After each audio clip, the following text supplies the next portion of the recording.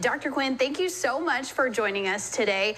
My first Thank question you. for you is how can you tell the difference between allergies and COVID, maybe a sinus infection? It kind of all runs together. Some of the symptoms kind of look the same.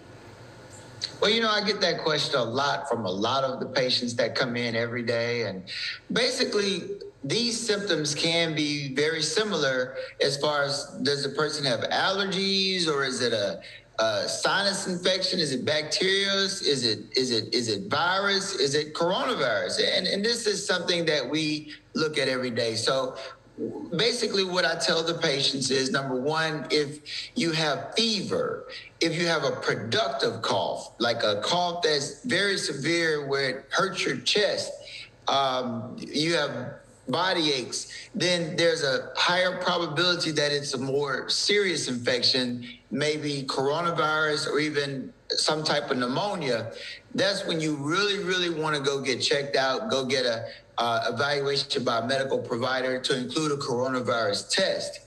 Uh, if it's just a runny nose, itchy throat, maybe watery eyes, there's a higher probability that it's just allergies. No fever.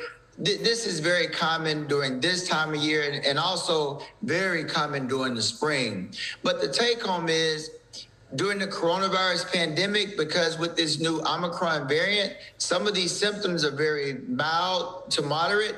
It's a good idea if you have any symptoms to go ahead and get tested for coronavirus. And you can even go now to Walmart or Walgreens and buy tests over the counter. Because if you're someone that's young and healthy and you have coronavirus with only mild symptoms, if you around someone that's older or immunocompromised, you can transmit it to them and then they could have a more serious uh, reaction or even lose their life.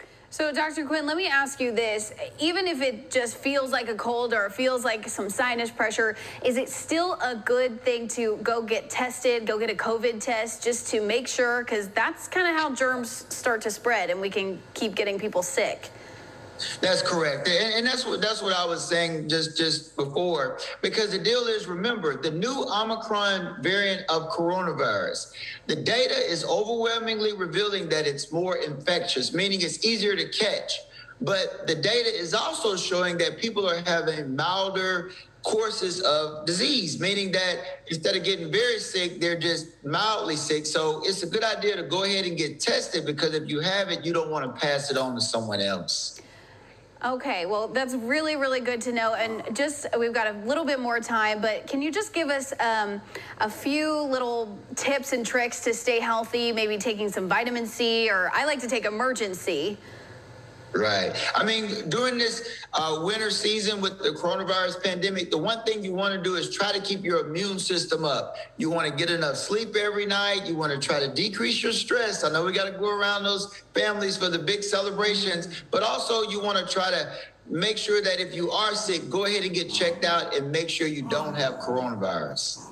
All right. Well, thank you so much, Dr. Quinn, for joining us here on 12 News.